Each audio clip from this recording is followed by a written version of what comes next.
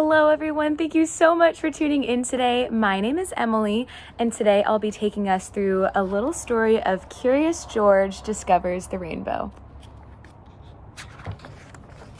Okay, we can get a good look at the picture. George was a good little monkey, very curious. Sometimes curiosity gets a good little monkey lost in the woods, especially when he's chasing leprechauns. Would you believe that that's how Curious George discovered the rainbow? And it all started on a bright sunny day. Here we can see the next page. It was a beautiful day in the country. Steve and Betsy were visiting from the city for the first time. George couldn't wait for their outdoor adventure to begin, but first they had to unpack. When Betsy dropped her books, George rushed to help her and pick them up. That's when he saw something he had never seen before. Something amazing. Here's our next page. That's a rainbow, George, said Betsy. See the paw of gold at the end and the leprechaun? Rainbows are always the same seven colors red, orange, yellow, green, blue, indigo, and violet. Do you guys see the leprechaun in the rainbow? And there we see red, orange, yellow, green, blue, indigo, and violet.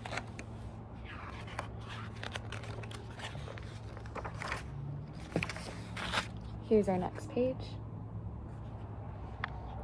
Rainbows were created by the sun and the rain, Betsy explained.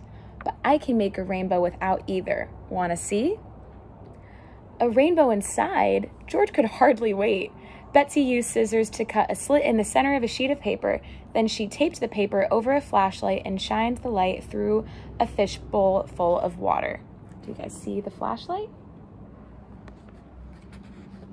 The flashlight is like a sunbeam, and the water is like a giant raindrop. The light shined through the water, and behold, Betsy said proudly, a rainbow.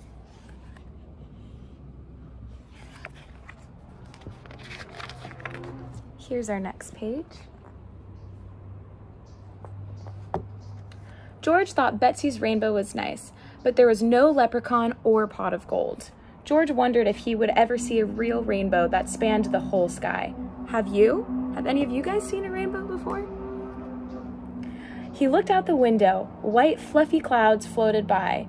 Looks like a nice day, said the man with the yellow hat. Meanwhile, the man helped Steve prepare for a hike. Have you ever seen any wild animals? Steve asked. We've got skunks and deer. I've never, I've even seen a moose or two. The man replied. A moose? Steve said. Now there's something you don't see every day. Here's the next page. And it was time for their hike. Outside, the sun was shining, but the temperature was cooler, and more clouds were starting to roll in.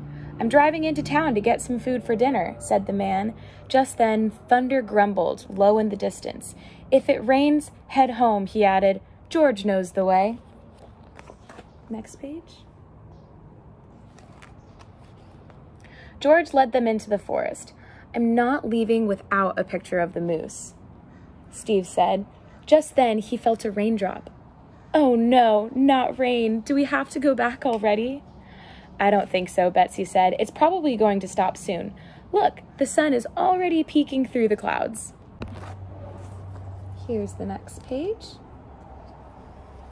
Sunlight and rain at the same time? Could this be George's lucky day? Sure enough, when he turned around, there was a huge, colorful rainbow arcing across the sky. His wish had come true. That's the biggest rainbow I've ever seen, said Betsy. Next page. George was excited to have found a rainbow, but he couldn't see the pot of gold from here. Steve was excited too. I'm climbing this tree to take a picture of the rainbow, he said, scampering high into the branches. Has anyone here ever climbed a tree before? It's kind of fun. This page. George needed a better view too. He knew if he was going to find the pot of gold or see a leprechaun, he needed to get closer. So, what do you think he did? George ran off in search of the rainbow's end with Charkie close behind him. Charkie, George, wait, Betsy yelled, chasing through the rain. Next page. When Betsy finally caught up with them, George tried to explain that he wanted to reach the pot of gold, but no matter how far or fast Charkie ran, the rainbow only got farther and farther away.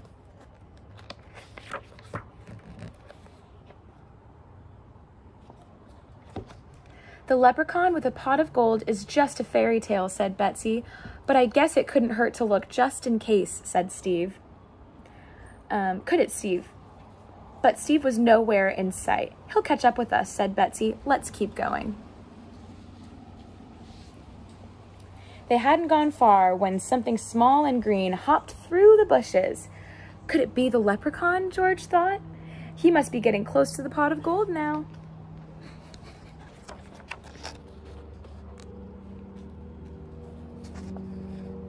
but it was only a green fog. Usually George would be happy to meet a frog, but it was no leprechaun. George wasn't disappointed for long, though, because the frog had led him to a second rainbow. Sorry, George, Betsy said. That's not another rainbow. It's only the reflection of the rainbow on the water. You see how it looks a little different on the water than in the sky? How will we keep chasing the rainbow now? We need to cross the water. Just then, Charkie darted through the bushes after the frog and found what they needed most a boat. Uh oh, Betsy said as they floated away. How will Steve ever catch up with us now? Meanwhile, Stevie realized he was all alone. Charkie, Betsy, George, where are you? Suddenly, something moved in the bushes. What do you think it was? A moose, Steve shouted, snapping a picture. But the moose didn't like Steve's loud voice or his camera. Steve was scared. He was about to call for help when he heard a voice. Back away from the moose slowly, the boy said. It was George's friend Bill. He knew a lot about the wilderness, and whatever you do, don't frighten it, Bill added. The moose walked off into the forest. Did you know that moose are good swimmers when temperatures rise? They keep cool in the mountain lakes and streams. Moose are also heavy and fast. They weigh up to 1,500 pounds and can run 35 miles an hour. If they feel threatened, they are considered more dangerous than grizzly bears. That's your moose fact for the day. When the coast was clear, Bill introduced himself. I'm Bill. And you're lucky I found you. Moose can be really dangerous, but we know that now. Hey, I'm Steve, he said to Bill. Since you're so good at finding things, maybe you can help me find my sister and our friend George. I know George, Bill said. I saw, follow me, I saw his friend in town. They'll help us. There's the man with the yellow hat.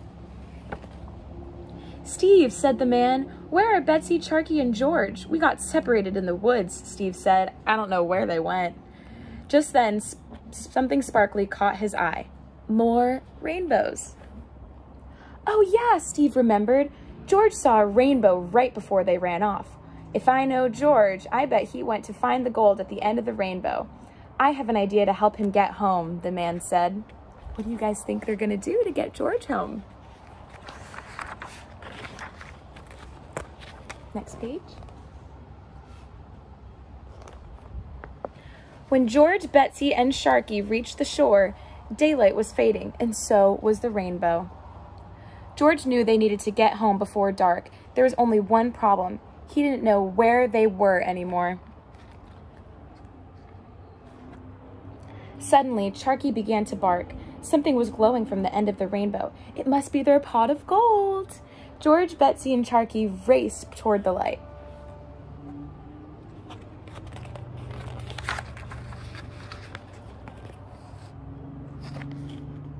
George, over here, called the man with the yellow balloon. It's not a yellow hat, it's the yellow balloon. He was standing on the roof of their house holding a bright, shiny balloon that was wearing a very familiar yellow hat. But I guess you could see how that looks like a pot of gold from afar because they're both yellow and shiny. George was happy to be home with his friends. There was no pot of gold, but he knew he had found the real treasure at the end of the rainbow. And that's our story. Thank you guys so much for tuning in. Once again, I hope you guys were able to learn a little bit about rainbows and the outdoors and the woods, and more importantly, about Curious George.